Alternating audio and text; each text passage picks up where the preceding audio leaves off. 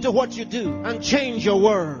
Remember, there is no extra time. Therefore, whatever you do now, do it the best way the first time. Success is waiting for the man who says yes to success. Success is waiting for the man who plans for it, who reaches out for it, who says, I'll wake up and he wakes up, who says, I'll read this book and he reads it, who says, I'll go to school and he goes. Success is waiting for the man who makes a decision. So time is important. Time is important. Don't spend your time watching television 24 hours a day. Don't spend your time watching video 24 hours a day. Those that you are watching have put their best into what you are watching. Change the position. Say to yourself, I will be watched. There are certain things you must do for all of what we have discussed to be a reality. There are things that are not in abundant supply. They're limited. One of them is time. Save time. Save it. Keep track of your time. The Bible says for us to redeem the time because it says the days are evil. You don't have extra time. Life is not a game. Therefore, make every day count for your life.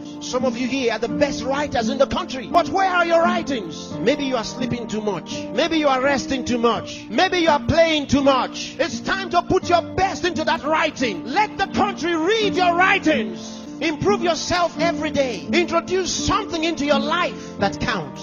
Choose to be a success. Become inspiring. Distinguish yourself with character, with excellence. If you're a musician, be a musician with a difference. Become inspiring. Whatever you do, do it with excellence. Become responsible. What do you have in yourself? There are many who cry for help, and because there are no answers, to their call for help, they feel the pains and the pangs of neglect. No, refuse to give up. Believe in what God made. God made you, and He never made a failure. Believe that God has a purpose for your life. You may have been born as a parental accident, but you are not a divine accident. God knew you were coming and He made sufficient provision for you. There's a place for you in the world, and I'm helping you find that place. None of you was born to be poor. You may, you may have been born poor, but you were not born to be poor. You may have been brought up poor, but you were not brought up to be poor. Understand this. The definition of adulthood is responsibility. When you become an adult, you take responsibility for your future.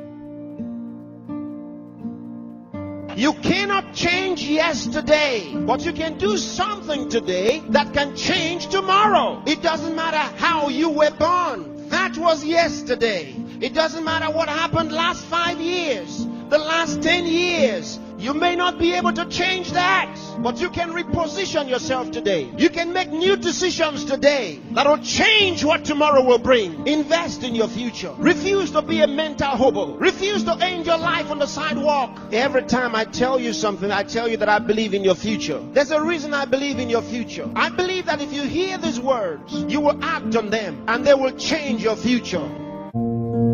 When I look at people, I always ask the question, I say, man, tell me what Nike stands for. They said, oh, Inky, that's easy, just do it. I said, tell me what Adidas stands for. Oh, Inky, that's easy, man, impossible is nothing. I said, now tell me what you stand for. When people look at you, do they think excuses? When people look at you, do they think victory? When people look at you, do they think that's a person that's going to give me everything they got, not on some days, but on every day, and it's not going to be predicated upon if I feel like it, because I think we all know if we only worked on the days when we felt like it, none of us would get much accomplished. I'm talking about the real level of commitment, not the commitment that falls in line if everything goes right. I'm speaking of the commitment that says, am going to stay true to what I said I would do long after the mood that I've set it in his life. See, most people, ladies and gentlemen, are stoppable. Most people, all you have to do is tell them no. All you have to do is make it inconvenient for them. All you have to do is make it difficult for them, and they're stop. See, when you go to get your goal, don't think that all you have to do is think positive and everything's going to work out okie dokie for you. When you go to get your goal, you are sending a telegram to Murphy's Law to visit you personally. You thought you was just gonna have a dream and a goal, and you was just gonna wake up and just walk into the sunset.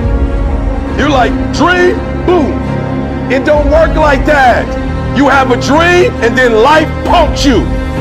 Life punks you and say, do you really want this? You gonna lose friends. Do you really want this? Do you really want this? Cousins gonna abandon you. People that you used to be like this with gonna think you bougie, don't wanna deal with you. It's a part of it, but I paid too much.